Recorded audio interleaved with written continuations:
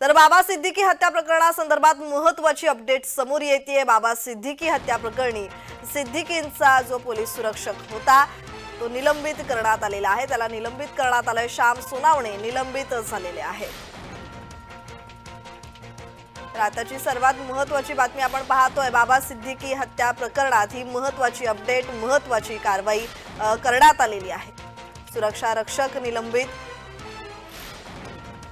तर सिद्दीकींचा पोलीस सुरक्षक निलंबित करण्यात आलेला आहे. बाबा सिद्दीकी हे राष्ट्रवादीचे नेते होते आणि त्यांचा जो मुलगा आहे जिशार सिद्दीकी याच्या कार्यालयाबाहेर बाबा सिद्दीकी यांच्यावर गोळीबार करण्यात आला. त्यात त्यांचा मृत्यू झाला आणि त्यानंतर बिष्णोई गँगकडून या हत्येची जबाबदारी घेण्यात आली होती. आणि त्यानंतर पाच जणांना अटकही करण्यात आलेला आहे ताब्यात घेण्यात आलेला आहे. आणि आता महत्वाची कारवाई समोर येते. श्याम सोनावणे यांचं निलंबन करण्यात आलंय.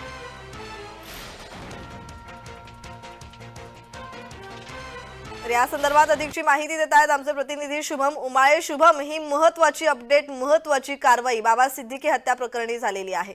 या संदर्भातला अधिकचा तपशील.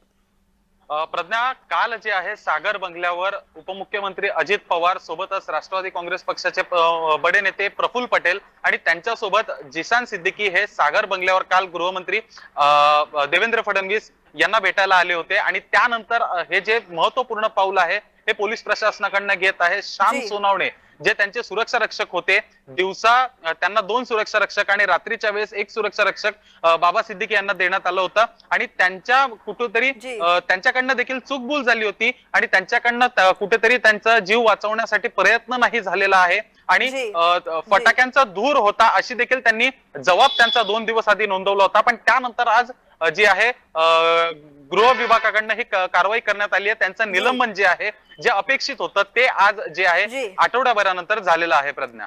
जी जी जी जी. असेच जोडलेले राहा. शुभम तुमच्याकडून माहिती अपेक्षित आहे आणखीन एक बातमीवर.